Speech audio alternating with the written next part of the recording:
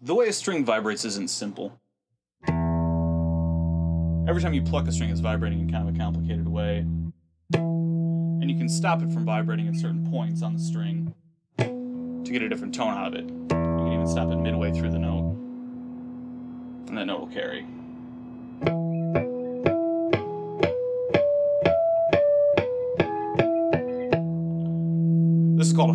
Some people call it a natural harmonic to differentiate between an artificial harmonic or a pinch harmonic, we'll get to that later. To play the natural harmonic, what you want to do uh, is place your finger on the string. Don't actually push it down onto the fret, just place it on the string gently enough that you're stopping the string from vibrating at that point, and pick.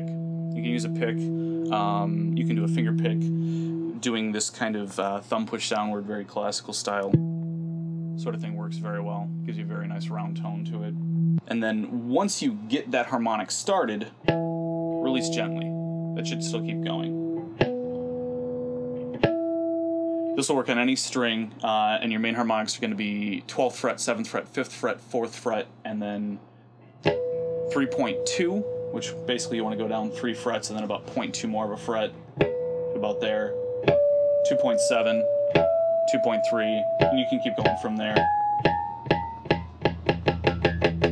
with mixed results. You're stopping the string from vibrating at a certain point, it's creating a node, um, and the string is kind of flopping one direction or the other on either side of that node. A couple things you can do to make those harmonics sound better.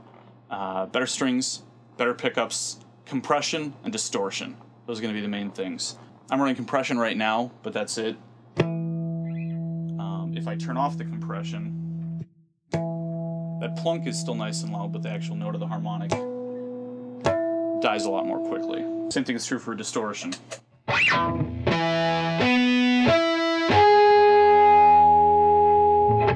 In addition to your gear, you can also improve the sound of your harmonics, um, usually by using your bridge pickup um, and by plucking harder the higher pitch the harmonic is. You're going to have to compensate for a bit of volume as you go higher pitched. Um, picking closer to the bridge will help if you're picking, for example, your fifth fret harmonic and your pick gets close to the other node of that harmonic where the 24th fret would be, you're not going to get much of a harmonic out of that, but you will closer to the bridge. Um, so picking closer to the bridge will help avoid those other nodes of the harmonics that you're creating. It'll give you a better harmonic. You can use this to play any bugle call.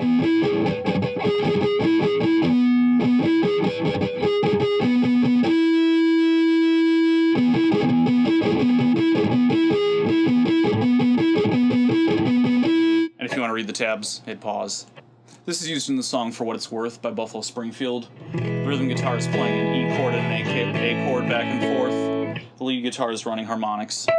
12th fret on the high E string, 7th fret on the I string. Doing that as whole notes for the entire verse, and then speeding up to half notes for the chorus. And then back to whole notes for the verse. Another example of a natural harmonic is the song uh, Personal Jesus by Depeche Mode. He's doing a capo on the second fret, so that 12th fret harmonics become 14th fret harmonics. Is the intro to that. Um, harmonics are often used intermittently like that. Uh, Metallica will do that on songs like Nothing Else Matters with a.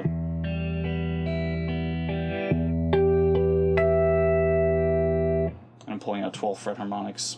You can also get a lot of interesting things crossing strings. Um, you can get an E minor chord across the 12th fret harmonic of the high pitched three strings, B minor chord there, another E minor chord there, G minor chord there. Um, you can also pull major chords out of the B, G, and D strings. G major, C major, G major again. Uh, you can also pull a couple of scales out of it. You can get an E minor pentatonic scale out of the 7th and 12th fret harmonics like this.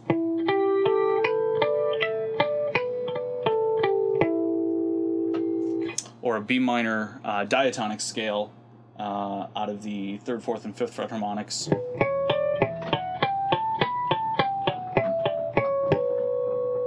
Like that.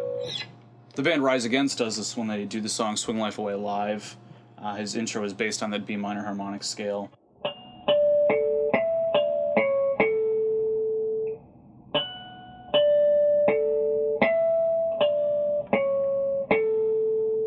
Scorpions do this in the song Rock Like a Hurricane. He's pulling out a